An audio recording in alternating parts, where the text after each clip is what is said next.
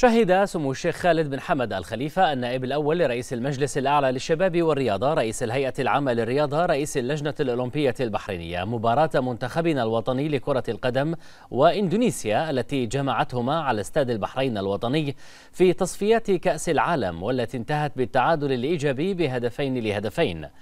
وتابع سموه المواجهة وأثنى على أداء لاعبي المنتخب الوطني ونوه بالدعم الذي أبدته الجماهير البحرينية داعيا لمواصلة العطاء لتحقيق المزيد من النقاط فيما تبقى من مشوار تصفيات. وأثنى سمو الشيخ خالد بن حمد على أداء اللاعبين في هذه المباراة مؤكدا على أهمية تقديم عروض أفضل في المباريات المقبلة لتحقيق الهدف المنشود وهو التأهل إلى نهائيات كأس العالم. كما حث سموه اللاعبين على بذل المزيد من الجهد في التدريبات والمباريات القادمة لتعزيز الثقة والروح المعنوية.